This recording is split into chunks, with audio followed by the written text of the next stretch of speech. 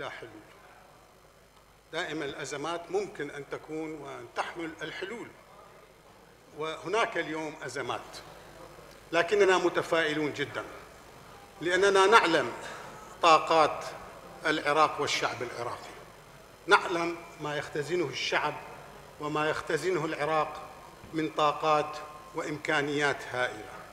نعتقد أن المشكل الاساسي اليوم في البلاد ليست مشكلة مالية وليست مشاكل أخرى حتى تنظيمية.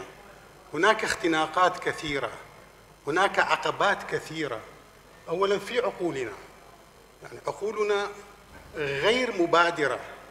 عقولنا متلقية دائما لا تبادر فقدت الثقة بنفسها.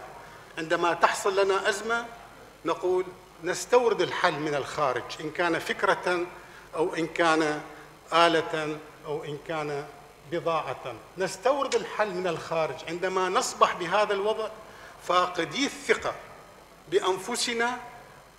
لا يمكن أن نتقدم تقدما حقيقيا. أن نرفع هذه العقبات أو هذه الاختناقات والمعوقات من أذهاننا وسنجد كم أمامنا من حل بسيط ممكن أن يساهم في حل أزمات نعتقدها خانقة وأساسية.